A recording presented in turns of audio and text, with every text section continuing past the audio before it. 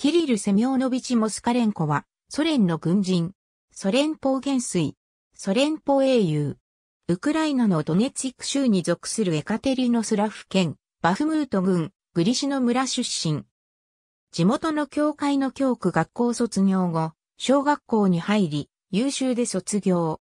1920年、コムソモールに入り、クリチェンコの赤衛隊に入隊し、マフの部隊と交戦。その後、赤軍に入隊する。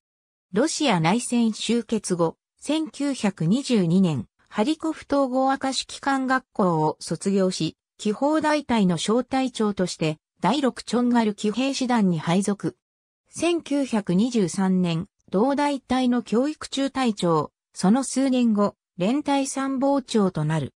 その後、指揮要員完全化過程を終了し、ザバイカルで連隊参謀長、連隊長を歴任。沿海地方に同し、戦車旅団砲兵部長。1932年、第一騎兵師団参謀長。1933年、師団長となる。キエフに同し、機械化軍団砲兵部長となる。ジェルジンスキー名称アカデミー卒業後、1939年、狙撃師団砲兵部長に就任。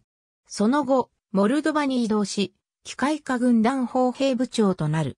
開戦直前、ルツク市の対戦車旅団長に任命。独ソ戦時、モスカレンコの旅団は、ドイツ軍の戦車を撃退しつつ、ソ連軍の退却を援護した。この功績により、1941年7月に、レーニン勲章が授与された。同年9月初め、第15狙撃軍団長に任命。キエフで包囲されたが、包囲網を突破し、プセル川まで後退した。その後、第13軍の騎兵、機械化軍集団司令官に任命され、モスクワの戦いに参加した。1942年1月初め、南西戦線第6軍司令官、同年3月に第38軍司令官となる。第2次ハリコフ攻防戦に参加したが、作戦は失敗しドン川まで退却した。スターリングラード攻防戦が始まると、再編成された第一戦車軍の司令官に任命される。1943年2月にスターリングラードで勝利した後、モスカレンコはボロネジ戦線第40軍司令官に任命された。第40軍はオストロゴーシクロッソシャンスク作戦に参加し、その後、第3戦車軍と共にボロネジを奪回した。ハリコフやベルゴロドの奪回にも貢献したが、マンシュタイン元帥の反撃に遭い、3月にはベルゴロドを失って、オボヤニ付近まで撤退する。クルスクの戦いに参加して、オボヤニの戦線を支え、第4次ハリーコフ攻防戦に参加し、さらにドニエプル川まで進出する。ドニエプル川強行とかに成功した功績により、大将に昇進し、ソ連邦英雄の称号が授与された。キエフ作戦が始まると、再び第38軍司令官に戻り、11月におけるキエフの解放に参加した。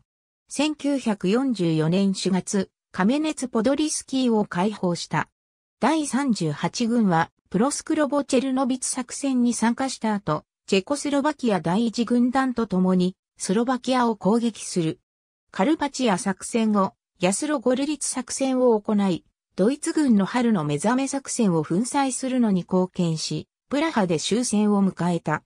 チェコスロバキア解放に対して、チェコスロバキア共和国英雄の称号が授与された。戦後、1948年、モスクワ軍管区司令官に任命。1953年、スターリンの守護権力を握ったラブレンチー、ベリアの逮捕と処刑を指揮する。1955年、ソ連邦元帥。1960年から1962年、戦略ロケット軍司令官、国防次官、1978年、2回目のソ連邦英雄称号が授与された。